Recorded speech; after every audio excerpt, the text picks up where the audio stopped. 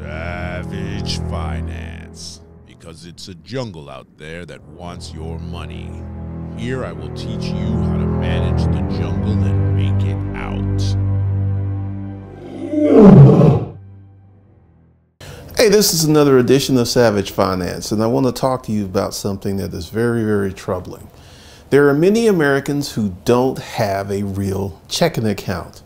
They're trying to get by using Venmo, Cash App, PayPal, and they don't have a real checking account. And that's a problem when it comes to you getting paid. And that was a problem with many people waiting on their stimulus money because they filed with H&R Block, TurboTax, and these other places.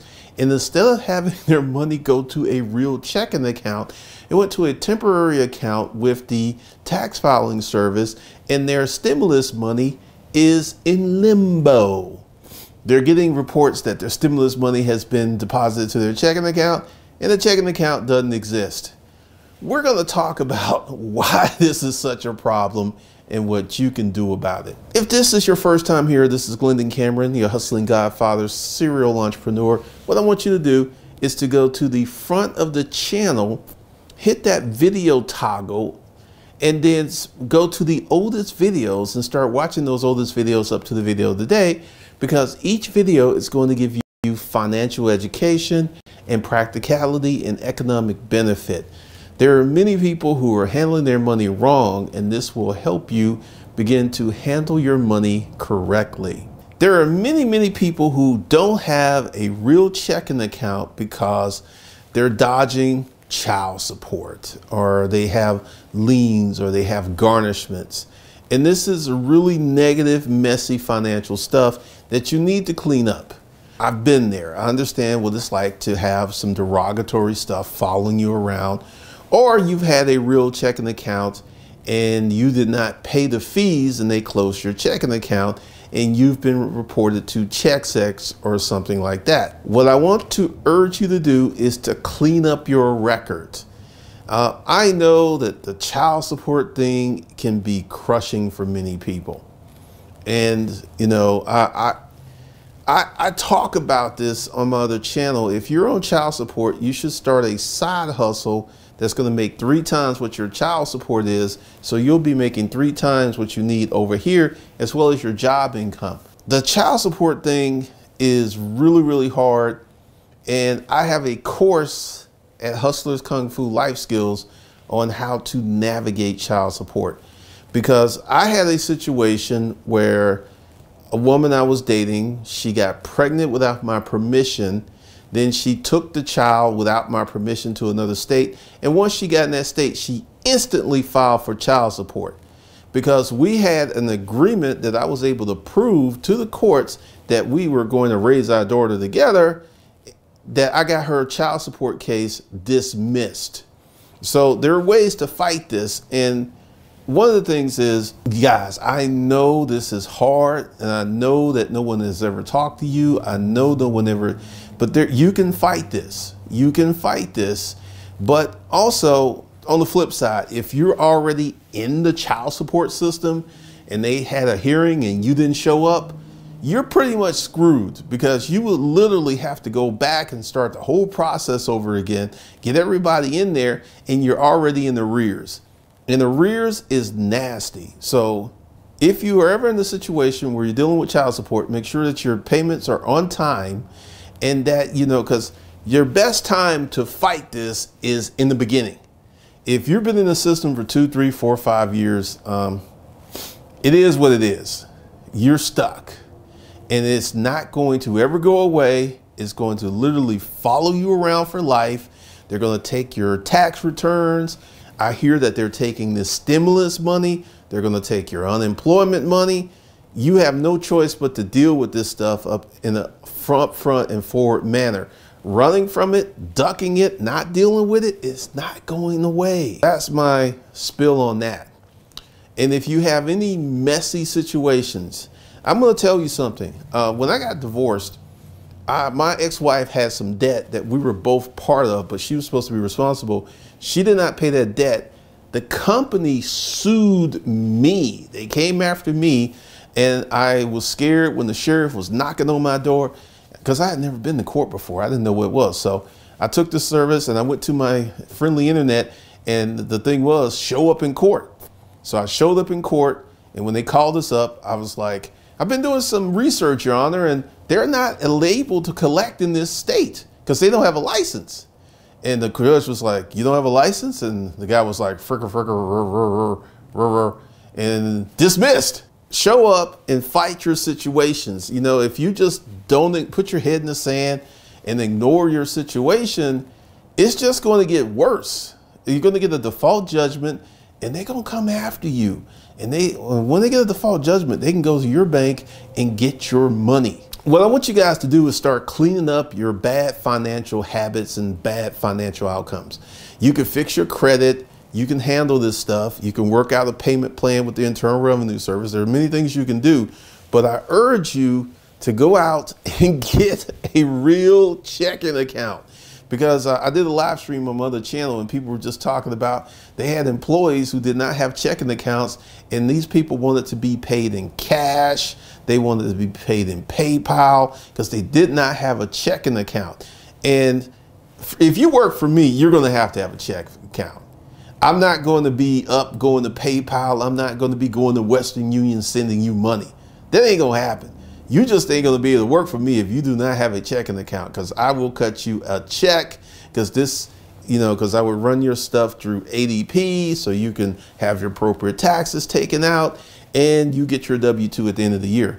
I, am not that kind of business owner that's going to be at the Western Union sending you money like a child. There are many people who are unbanked and underbanked because they don't know that there are many banks. You can do an online bank. There's Simple, there's Chime. And for those of you who are veterans who are worried about setting up a checking account with fees, if you are a veteran, you take your DD 214 to Chase Bank, open up your checking account, and your checking is free.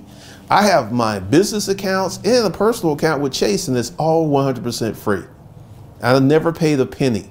You have to do this because you have to, you know, when you open up your checking account, you have to provide your DD 214 and let them know that you were a veteran, and you get free checking. So there ain't no excuse. You can get free checking. There's Navy Federal. There's Delta Credit Union. There's many. Get yourself a real checking account and stop ducking, dodging, and hiding.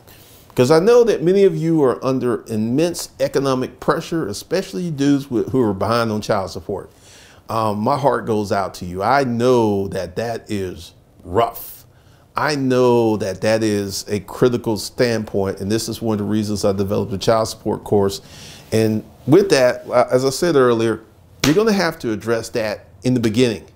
Because if you've been in the system two, three, four years, it's going to be almost virtually impossible to get out of it because you're going to have to hire an attorney, and then you're going to have to go to court, and you're going to have to petition the mother, and there's all this. And here's something else too the mother has the capacity to forgive your child support. You don't have to be living under a rock if you're dealing with a reasonable woman. But, you know, once again, that's a whole nother video. Get yourself a real valid checking account. Start getting your finances in order, especially you folks who are filing at TurboTax, Jackson Hewitt, and you're letting them put your refund on a debit card. Check out my video. Stop using that debit card you shouldn't even have a debit card. You, you've got to sit down and start handling your personal affairs like an adult. This whole debit card, like there's Netflix, there, there's uh, there's uh, Cash App was sending notifications that you know we could take your money. Get yourself a real valid checking account and handle it. Because in my course, the money management course, I actually talk about having multiple checking accounts. So Get yourself a real checking account, get yourself a real savings account, and stop using these uh, subprime checking alternatives because you know you want to have yourself situated where you can exist in the financial system that we have. And many people due to bad decisions and other things they're not in the financial system. They're as far away from the financial system as they can get to be an adult, to be 30 something, 40 something, and be in a situation where you cannot open up a checking account because of things you did in the past, you need to start addressing those things because just as this, you know, there, there's a, like millions of people who are not getting their stimulus money because they didn't have a real checking account. Millions of people. And, you know, hopefully they'll get it worked out because the government has already registered that we sent you the money and the tax collection agencies like we didn't get no money and we can't give you no check.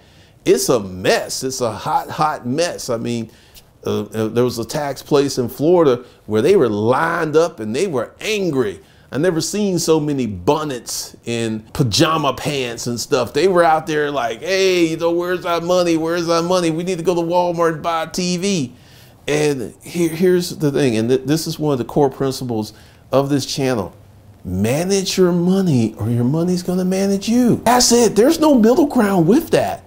And this is one of the things that I want to give you guys the knowledge and the information to have better financial lives. Because this whole notion of not having a checking account, it's just crazy to me. It, it, it, it is. You know, I've never, because, uh, you know, when I've hired people, I've never run into that. Everyone was able to get a check or to get direct deposit. I've never run into that. And the thing is, I was listening to some other business owners. It is a big, big problem that people don't have checking accounts, that people want to be paid in alternative and esoteric ways.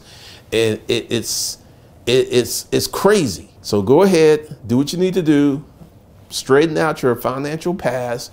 There's alternatives. And there are banks that will open up a checking account for you, even if you have derogatory information with another bank. Uh, I think these internet banks will open up checking accounts for you. I, am not sure because uh, I signed up for Simple and I have a simple account, but I really don't use it. I pretty much have all my stuff with commercial banks, you know, Wells Fargo, Chase, PNC. And essentially, I don't even think, because back in the day, you used to have to have good credit to open up a checking account at Wachovia, which is now Wells Fargo, I believe. And I think all of that went away. Uh, I know someone who used to work for me that we had this conversation and because um, he he went to Wells Fargo and they Wachovia at the time, and they opened up an account for him. Get yourself a real checking account, and also here's something else too with these internet banks. If you get a check above a certain amount, you cannot deposit that on your phone. Like with uh, Chase, PNC, Wells Fargo, the biggest check I can deposit is 2,500 bucks, I believe, on the app when I was getting these checks of $50,000 per month, I had to actually go into the branch and deposit them. And if I had an internet bank, I would have had to mail those in and wait 10 days between, you know, mailing it, they're getting it, they're holding the money for I got my money. Get yourself a bank account. You know, if you don't like the big banks, try small bank or community bank. They're they're they're put they're there to help you out. They're going to open up an account for you and do some research because this whole notion of being underbanked and not having a checking account is crazy. It's insane. And I know many people are there. So what I want you to do, and this is, you know, if you're a person and you know what your situation is, you know the reason why. If you got people coming after you or you're afraid to have a checking account because they're going to take your money, you need to start addressing these situations because living under a rock, and this is one of the reasons that I fought my case like a demon. When I was going through that child support stuff, I would not turn in a lick of paper because I was like, y'all have no jurisdiction over me. I'm not doing that. She moved. She shouldn't even be eligible to file for child support in the state of New York. And I was giving them hell. And I stood my ground. And then this one magistrate, because if you're in New York, they're magistrates, they're not judges, and they're hired attorneys to be judges she made some mistakes and she overstepped her bounds and I filed a complaint and we got shifted to another magistrate, uh, stated my case, dismissed. So I fought because I know how hard this is. You know, they can take your license, they can reject your passport. It's, it's just a nasty thing. And I understand that many folks who are in these situations with child support, you're not getting any stimulus money. They don't really care about you, bruh you're going to have to man up and uh, handle your business and address this because if you don't, it's going to hunt you forever. I know of a dude, his children are grown and they're still coming after him for arrears. His kids are like 22, 23, 24, 25. And because I think he was $80,000 behind in child support, they're still coming after him. So even when the kids are adults, it doesn't stop.